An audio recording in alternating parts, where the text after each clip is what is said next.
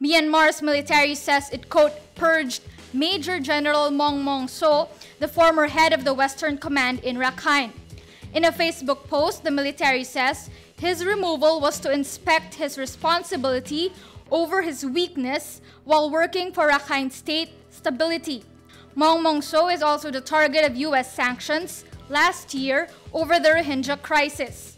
Myanmar is accused of waging a crackdown in Rakhine state that forced 700,000 to flee. The United Nations and major Western powers say the crackdown amounts to ethnic cleansing. The country's de facto leader, Nobel Peace Prize winner Aung San Suu Kyi, faces global criticism for not standing up more for the Rohingya.